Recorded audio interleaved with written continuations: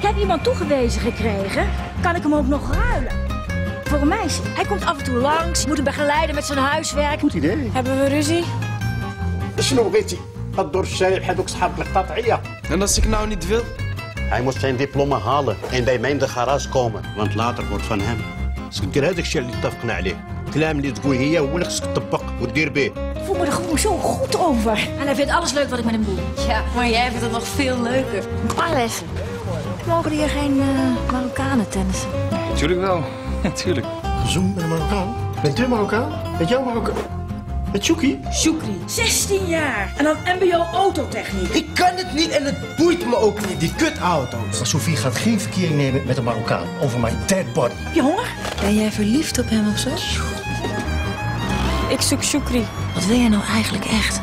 You fucking American! Anthony Montana, you fuck with me, you fucking with the best!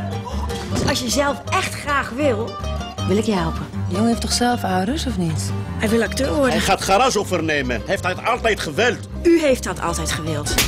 Opzouten, wat lul je nou? Jullie horen hier niet. Jullie? Het heeft geen nut. Dat zegt. Het heeft geen nut, zeg ik toch? No hard feelings, Chouki, maar het werkt niet. Dat eh, ziet Suzanne nu al. Ik wil die jongen helpen uit de grond van mijn Maar hart. je hebt uiteindelijk toch maar liever niet dat hij aan je dochter komt. Goeie coach, hoor. Echt. Een fantastische coach.